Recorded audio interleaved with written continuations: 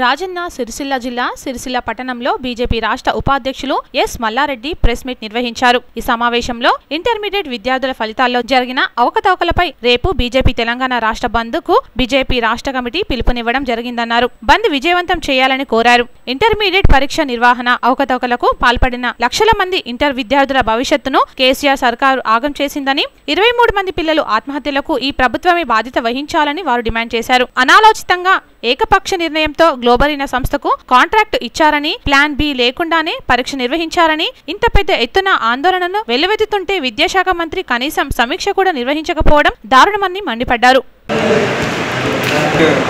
పరీక్షా ఫలితాల్లో చోటు చేసుకున్నటువంటి అక్రమాలపై భారతీయ జనతా పార్టీ రాష్ట్ర వ్యాప్త ఉద్యమాన్ని చేపట్టడం జరిగింది. మా రాష్ట్ర అధ్యక్షులు డాక్టర్ లక్ష్మణ్ గారు మొన్ననే మరి నిరవధిక నిరాదే దీక్ష కూడా కూర్చోవడం జరిగింది. మరి ఆ యొక్క దీక్షను కూడా కొనసాగించనివ్వకుండా ఒక రెండు గంటల్లోనే ఆ యొక్క దీక్షను ఎత్తివేసి మరి అందరినీ కూడా అరెస్ట్ చేయడం అనేది జరిగింది.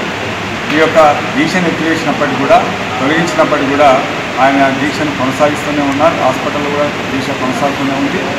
మరి ఆ యొక్క దీక్షకు మద్దతుగా ఈ ఉద్యమానికి మద్దతుగా భారతీయ జనతా పార్టీ అన్ని జిల్లా శాఖలు కూడా నిన్న కలెక్టరేట్ల ముందు ధర్నాలు నిరసన కార్యక్రమాలు చేపట్టడం జరిగింది.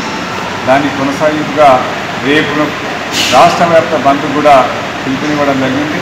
కాబట్టి సమాజంలో ఉన్నటువంటి ప్రజలందరూ కూడా ముఖ్యంగా విద్యార్థులు తల్లిదండ్రులు యువకులు మరి మహిళలు అన్ని వర్గాల ప్రజలందరూ కూడా కొంత ఇబ్బంది అయినప్పటికీ కూడా ఈ యొక్క బంద్కు సహకరించి బంద్ను సంపూర్ణంగా విజయవంతం చేయాలని అందరూ కూడా పాల్గొనాలని ఈ ప్రజాస్వామ్య వ్యతిరేక ప్రభుత్వం చేపడుతున్నటువంటి అవినీతి అక్రమాలకు వ్యతిరేకంగా బీజేపీ అది చేపడుతున్నటువంటి ఏదైతే ఉద్యమం ఉందో ఈ ఉద్యమానికి మీరందరూ కూడా సహకరించాలని భవిష్యత్తులో కూడా ఈ ప్రభుత్వం మీద నిరంతరం కూడా ఈ యొక్క ఉద్యమం అనేది పోరాటం అనేది కొనసాగుతుందని ఈ సందర్భంగా తెలంగాణ ప్రజలకు అదేవిధంగా సిరిసిల్ల జిల్లా ప్రజలకు విజ్ఞప్తి చేస్తాము